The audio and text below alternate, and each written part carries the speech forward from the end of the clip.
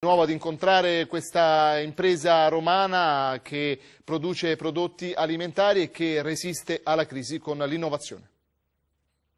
L'azienda l'abbiamo insediata all'interno di questo monastero benedettino, c'erano i vecchi forni che erano andati in disuso, io avevo avuto occasione eh, così fortuitamente di, di, di visitarli. E, mm, così un, io sono un architetto, facevo la mia professione, eh, ho svolto l'attività di, di, professionista su Roma per un, più di vent'anni. Mm, ero però molto stanca, mi occupavo di telefonia cellulare, quindi insomma cosa che mi aveva proprio saturata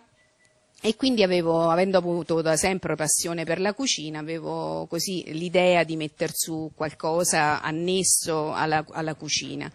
Eh, sono venuta a conoscenza delle problematiche connesse con la celiachia, così incidentalmente con eh, degli amici che avevano avuto la diagnosi di celiachia per il figlio.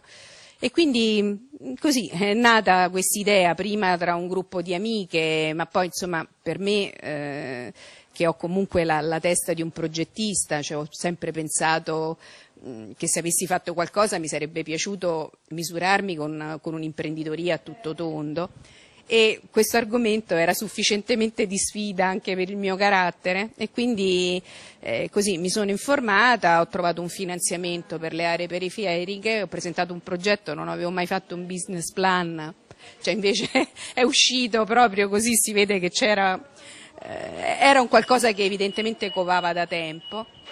E quindi così, eh, una volta che ce l'hanno finanziato, io ricordo questo momento con mio marito, le mie figlie, eh, che facciamo? La mamma cambia la vita o no? Insomma, le mie figlie, tra l'altro, allora mi, mi, dissero: Mamma, ma le altre pensano alla pensione e tu a 50 anni cominci no, a, a mettere su una nuova cosa.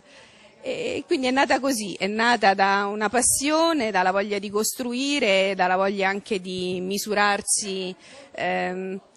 eh, sì, con il sistema di regole di questo paese è anche un po' una sfida capire se è possibile mettere su una impresa eh, nel rispetto di tutte, di tutte, le regole, di tutte le norme che mh, potesse poi anche funzionare economicamente.